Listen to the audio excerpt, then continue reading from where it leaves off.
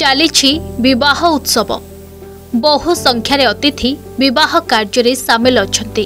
କିନ୍ତୁ ବର କନ୍ୟାଙ୍କ ସ୍ଥାନରେ ଧଳା ବସ୍ତ୍ର ପଡ଼ିଥିବା ଦୁଇଟି ଚେୟାର ଥୁଆ ହୋଇଛି। ନିଶ୍ଚୟ ଆପଣଙ୍କୁ ଆଶ୍ଚର୍ଯ୍ୟ ଲାଗୁଥିବ ଭାବୁଥିବେ ବର କନ୍ୟା ନାହାନ୍ତି। ଇଏ କେଉଁ ପ୍ରକାରର ବିବାହ? ଆଜ୍ଞା ଇଏ ହେଉଛି ମୃତ୍ୟୁ ପରେ ବିବାହ। ଅଜବ ଲାଗୁଥିଲେ ବି କର୍ଣ୍ଣାଟକରେ ଦେଖିବାକୁ ମିଳିଛି ଏଭଳି ନିଆରା ବିବାହ। ଏହା କୌଣସି ସାଧାରଣ ବିବାହ ନୁହେଁ ବରଂ ଏଥିରେ ଦୁଇ ମୃତ ବ୍ୟକ୍ତିଙ୍କ ବାହାଘର କରାଯାଇଛି। କର୍ଣ୍ଣାଟକର ଡାକ୍ସିନା କନ୍ନଡ଼ ଜିଲ୍ଲାରେ ଏହି ପାରମ୍ପରିକ ବିବାହ ଉତ୍ସବ ଅନୁଷ୍ଠିତ ହୋଇଥିଲା।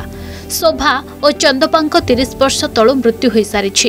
ମୃତ୍ୟୁର ତିରିଶ ବର୍ଷ ପରେ ବିବାହ ଅନୁଷ୍ଠିତ ହୋଇଥିଲା। ବିବାହରେ ପରିବାରର ସମସ୍ତ ସଦସ୍ୟ ତଥା ଅତିଥି ଯୋଗଦେବା ସହ ଭୋଜି ଭାତ ଓ ରୀତିନୀତି ଅନୁଯାୟୀ ବିବାହ ସମ୍ପନ୍ନ ହୋଇଥିଲା। କେବଳ ପାର୍ଥକ୍ୟ ଥିଲା ବାସ୍ତବ ବର ଏବଂ କନ୍ୟା ବଦଳରେ କଣ୍ଢେଇ ରଖାଯାଇଥିଲା। ପ୍ରକୃତ କଥା ହେଉଛି କର୍ଣ୍ଣାଟକରେ ପ୍ରେତ କଲ୍ୟାଣମ୍ ନାମରେ ଏକ ପ୍ରଥା ପାଳନ କରାଯାଇଥାଏ। ଏହି ପ୍ରଥା ଅନୁସାରେ ମୃତକଙ୍କ ବିବାହ ଅନୁଷ୍ଠିତ ହୋଇଥାଏ।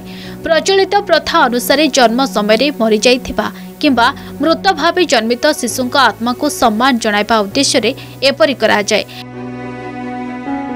ଏଠାକାର ଲୋକମାନେ ବିବାହ ବିନା ଜୀବନ ଅଧୁରା ବୋଲି ମନେ କରନ୍ତି ତେଣୁ ଯଦି ମୃତ୍ୟୁ ପରେ ବିବାହ ନ କରାଯାଏ ତାହେଲେ ସେମାନଙ୍କର ପ୍ରିୟଜନଙ୍କର ଆତ୍ମାକୁ ମୋକ୍ଷ ପ୍ରାପ୍ତି ହୋଇନଥାଏ।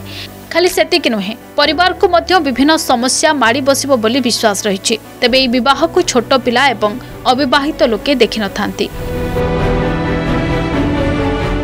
ଏ ସମସ୍ତ ଘଟଣାକୁ ନେଇ ୟୁଟ୍ୟୁବର ଆନି ଅରୁଣ ଏହି ଅଜବ ତଥା ନିଆରା ବିବାହର ପ୍ରତିଟି ମୁହୂର୍ତ୍ତର ଭିଡିଓ ସେୟାର କରିଛନ୍ତି।